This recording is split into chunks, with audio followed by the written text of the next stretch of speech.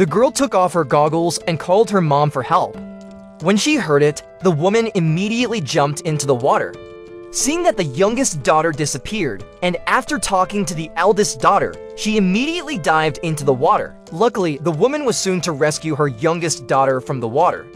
Then when confronted by her eldest daughter, she blamed her for not taking care of her younger sister. Growing up, the younger sister became a professional diver. Her mission today is to overhaul the ship's propeller. The main propeller is fine, but the steering propeller is caught in a fishing net.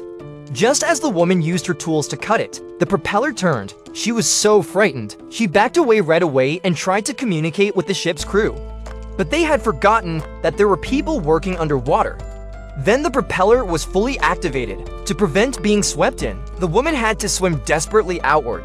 She managed to grab the exit pole, but the strong current forced her to take off the diving gear. Luckily, the propeller got caught in the gear and stopped. Once ashore, the woman went to the control room in a rage and punched the operator in the face.